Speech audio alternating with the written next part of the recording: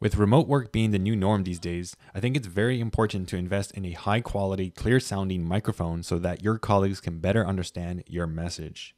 It baffles me to this day when remote workers communicate or present with cheap microphones, making it so hard to understand on the other side. Fifine's new take on a dynamic USB microphone like the model K658 featured in this video may be the solution to eliminating poor sound quality so you can sound your best when speaking in a professional setting. So why invest in a dynamic microphone versus a condenser microphone? Or why can't I just use my inbuilt microphone on my work laptop? Well, the answer to this lies in how dynamic microphones are especially good at isolating your voice above anything else. You see, if you speak into a mic that's far away, you tend to get a lot of reverb or echoes that make your voice sound muffled and hard to understand.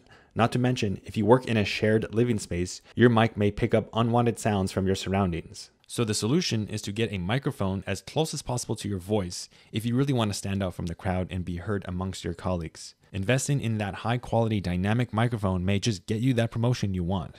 Now, what about condenser mics or shotgun mics? Surely those types of mics will perform well. Well, yes, those types of mics are going to be way better than your AirPods or your onboard mic on your computer, but dynamic microphones are really built to focus on your voice. Shotgun mics, due to their long open design, are susceptible to reverb, so unless you're in a treated room, it's not the optimal solution. Condenser mics are super sensitive as well, so they don't do the best job at isolating your voice. After testing the Fifine K658 dynamic USB microphone, I think this mic offers the most value for the money spent. Oh, and you might be wondering, what about XLR mics? Aren't they so superior to USB microphones?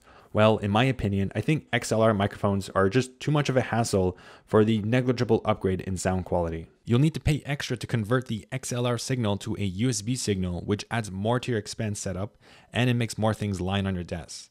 I like to have a clean and minimal setup on my desk, so using a USB mic reduces that clutter. By the way, during that last paragraph, I've been swapping between the condenser microphone and the K658 dynamic microphone. Can you tell the difference during that blind test? Leave a comment and check the video description to see what mic belongs to what.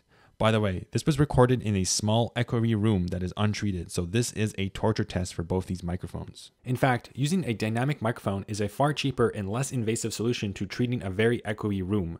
Buying sound panels not only costs a lot of money, it can cause damage to your walls, make your room just look messier, and it's just a ton of work to install. By the way, I'll be sharing many more sound comparison tests later in this video if you still can't decide which mic sounds best for you. So let's talk about the design of the K658 microphone. First, upon unboxing this microphone, you'll notice that it includes a shock mount, which is a really nice bonus accessory that helps prevent unwanted bumps and keyboard noise from disturbing the mic. The mic does come with a decent pop filter to prevent plosives, which are loud bursts of air that are typically emitted when you say P's and B's. Now, the best way to avoid plosives is to speak off axis angle so that you don't necessarily get all these plosives, even if you have a pop filter on. Moving along the design of the mic, the mic has some really nice RGB accent colors, which can be completely disabled with the button below. It has a large hardware gain knob, which is always more convenient than having to tweak with software. On the gain knob is a capacitive button to mute the mic. It also includes a little tiny stand, but it's recommended to mount this on a boom arm.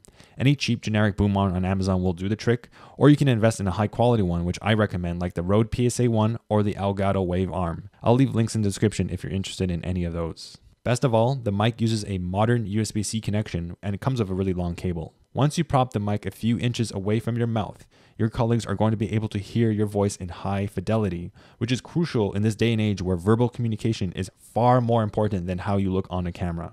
Let's jump into a bunch of sound tests where I compare the Fifine K658 with similarly priced microphones in the range so that we can see how well it does against the competitors. Don't forget that you can use the chapter links in the description down below to instantly compare the sound tests side by side. Mr. Jones of the Manor Farm had locked the hen houses for the night, but was too drunk to remember to shut the pop holes. With the ring of lights from his lantern dancing from side to side, he lurched across the yard, kicked off his boots at the back, drew himself a last glass of beer from the barrel in the scullery, and made his way up to the bed, where Mr. Jones was already snoring.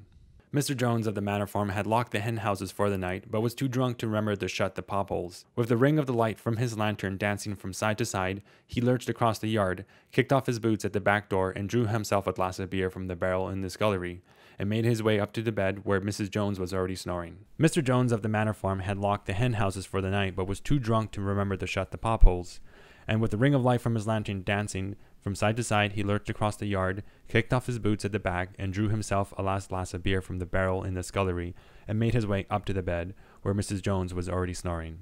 Mr. Jones of the Manor Farm had locked the hen houses for the night, but was too drunk to remember to shut the pop holes. With the ring of light from his lantern dancing from side to side, he lurched across the yard, kicked off his boots at the back door, and drew himself a, la- a last glass of beer from the barrel in the scullery, and made his way up to bed where Mr. Jones was already snoring. Mr. Jones of the Manor Farm had locked the hen houses for the night, but was too drunk to remember to shut the pop holes.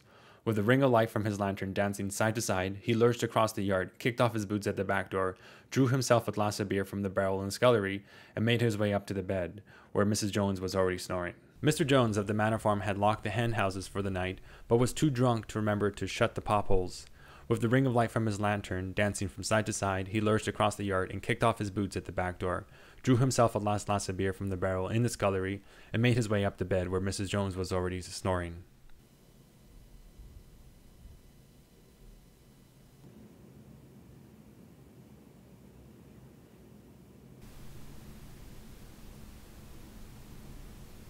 Peter Piper picked a pick of pickled peppers, a peck of pickled peppers Peter Piper picked. If Peter Piper picked a pick of pickled peppers, where's the peck of pickled peppers Peter Piper picked? Peter Piper picked a peck of pickled peppers, a peck of pickled peppers Peter Piper picked. If Peter Piper picked a pick of pickled peck peppers, where's the peck of pickled peppers Peter Piper picked? Peter Piper picked a peck of pickled peppers, a peck of pickled peppers Peter Piper picked. If Peter Piper picked a peck of pickled peppers, where's the peck of pickled peppers Peter Piper picked? So, in conclusion, I have to say this is an excellent sounding microphone that really isolates your voice. It's perfect for podcasting, YouTube videos, voiceovers, Zoom demos, and presentations for work. For the price, it offers a lot of features and the performance is excellent. I recommend checking this mic. I'll leave a link in the description down below. Just make sure to grab a boom arm to make the whole experience of sounding like a professional DJ talk show host more seamless. Thanks for watching this video. If you have any questions about the mic, please make sure to leave them in the comment section down below, and I will see you in the next video.